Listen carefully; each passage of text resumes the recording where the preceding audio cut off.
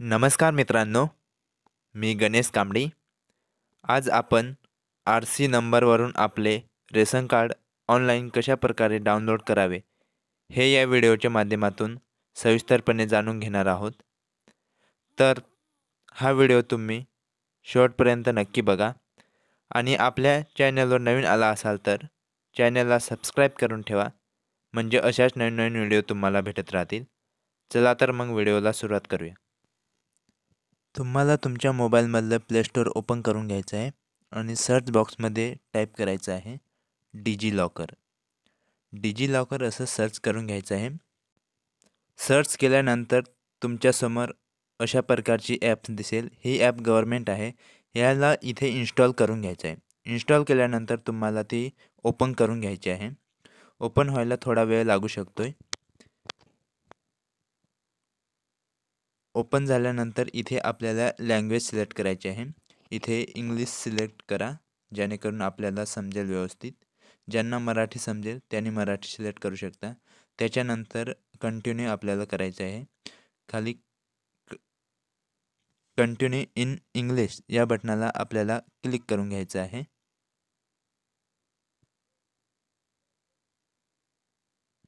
इथे क्लिक केल्यानंतर आपल्यासमोर अशा प्रकारे दिसेल. इथे शिक्युअर हे आहे. त्याच्यानंतर नेक्स्ट केल्यानंतर इजी ॲक्सेस असं आहे. त्याच्यानंतर एनी टाईम एनी वेअर असं मॅसेज तुम्हाला दिसेल. त्याच्यानंतर आपल्याला पुन्हा बॅकला यायचं आहे. बॅकला आल्यानंतर इथे आपल्याला स्पीक या ऑप्शनला क्लिक करून घ्यायचं आहे. स्पीक या ऑप्शनला क्लिक केल्यानंतर तुमच्यासमोर अशा प्रकारे दिसेल. इथे तुम्हाला खाली करून बघू शकता. त्याच्यानंतर इथे आपल्याला गेट स्टार्ट असा एक ऑप्शन देण्यात आलेला आहे. या ऑप्शनला आपल्याला इथे क्लिक करून घ्यायचं आहे. इथे क्लिक केल्यानंतर तुमच्यासमोर साईन इन तसेच क्रिएट अकाउंट असे दोन ऑप्शन तुम्हाला देण्यात येईल. ज्यांचे अकाउंट ऑलरेडी इथे रजिस्ट्रेशन असेल त्यांनी साईन इन करून घ्यायचं आहे. आणि ज्यांचे अकाउंट नसेल त्यांना अकाउंट तयार करायचे तर ज्यांचे अकाउंट आहे त्यांनी साईन इन करण्यासाठी तिथं ओपन करून घ्या त्याच्यावरती. त्याच्यानंतर इथे तुम्हाला युझर नेम तसेच मोबाईल आणि आधार असे तीन ऑप्शन दिले जातील. तुम्ही त्याच्यापैकी कोणता पण एक टाकून आणि पासवर्ड तुमचा टाकून साईन इन करू शकता. त्याच्यानंतर क्रिएट अकाउंट ज्यांना क्रिएट अकाउंट करायचं आहे त्यांनी खाली क्रिएट अकाउंट या ऑप्शनला क्लिक करून घ्यायचं आहे. इथे क्रिएट ऑप्शनला क्लिक केल्यानंतर इथे आपल्याला फुल नेम ॲज पर आधार असं नाव टाकायला सांगेल. इथे तुमचं जसं आधार कार्डवरती नाव असेल त्याच स्वरूपात तुम्ही इथे नाव टाकून घ्या. नाव टाकून झाल्यानंतर तुम्हाला खाली यायचं आहे. इथे डेट ऑफ बर्थ विचारलेली आहे.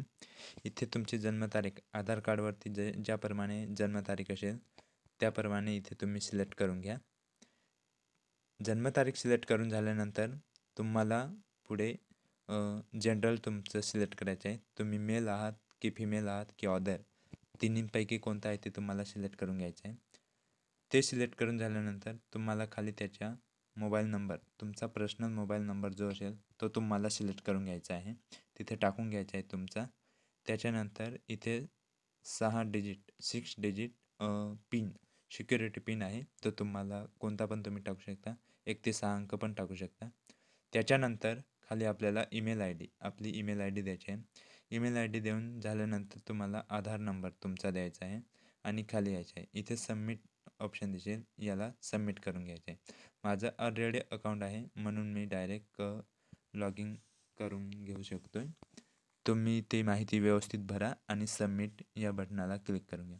इथे लॉग इनला आल्यानंतर इथे तुम्हाला तुमचा युझर नेम किंवा मोबाईल नंबर टाकून तुम्हाला लॉग इन व्हायचं आहे. इथे लॉग इन झाल्यानंतर आपल्याला सबमिट करून घ्यायचं आहे. सबमिट केल्यानंतर तुमच्यासमोर इथे एक ओ टी पी येईल. तो ओ टी पी तुम्हाला टाकून घ्यायचा आहे. ओ टी पी टाकून झाल्यानंतर तुम्हाला सबमिट करायचं आहे.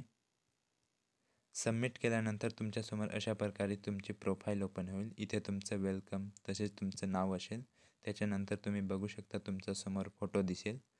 त्याच्यानंतर तुम्हाला खाली काही ऑप्शन देण्यात आलेलं आहे. जसं की होम आहे. त्याच्यानंतर सर्च इंजन आहे. त्याच्यानंतर इशू आहे. त्याच्यानंतर मेनू आहे.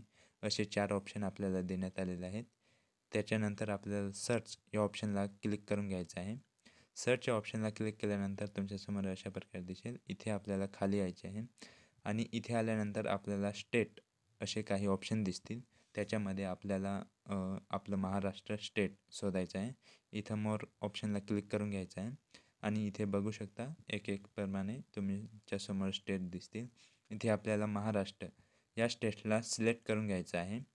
आणि इथे सिलेक्ट केल्यानंतर आपल्यासमोर आपल्याला जे बघायचं आहे ते येऊन जाईल. इथे रेशन कार्ड असं ऑप्शन तुम्हाला शोधून घ्यायचं आहे. तुम्ही खाली करून बघू शकता रेशन कार्ड कुठे नाव आहे. त्याच्यानंतर इथे तुम्ही बघू शकता इथे आहे. त्यानंतर सिलेक्ट करून घ्यायचं आहे रेशन कार्डला.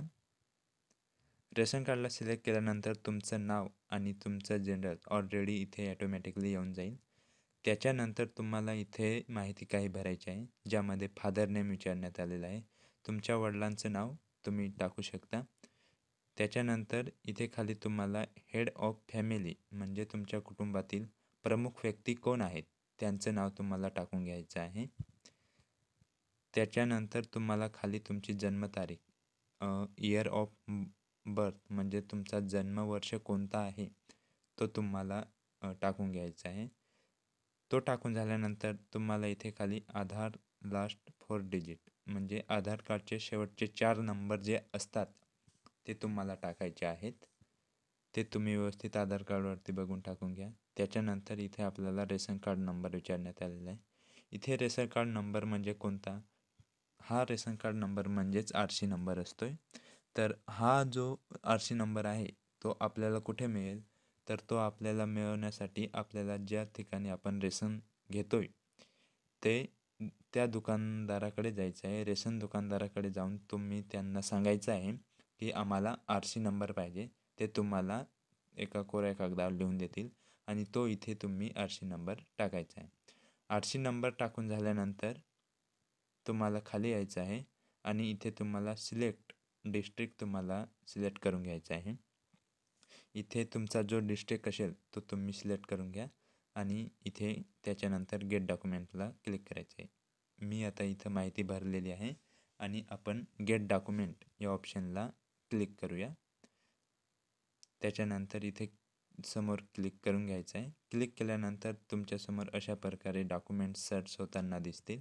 जेवढे पण डिजिलॉकरला असतील तेवढे डॉक्युमेंट सर्च होताना दिसतील. सर्च झाल्यानंतर आपण बघू शकतो रेशन कार्ड सर्च झालेलं आहे. त्याच्यानंतर तुम्ही ते ओपन करून बघू शकता. अशा प्रकारे तुमचं ऑनलाईन रेशन कार्ड सक्सेसफुली तुम्ही बघू शकता. त्याच्यानंतर इथे खाली आपल्याला डाउनलोडचा ऑप्शन देण्यात आलेला आहे. तिथून तुम्ही डाउनलोड करू शकता. तर हा व्हिडिओ तुम्हाला जर आवडला असेल तर तुमच्या मित्रांपर्यंत शेअर करा. लाईक करा. काही अडचण आली असेल तर कमेंट करा. तर थांबूया आजच्या व्हिडिओमध्ये इथेच. धन्यवाद.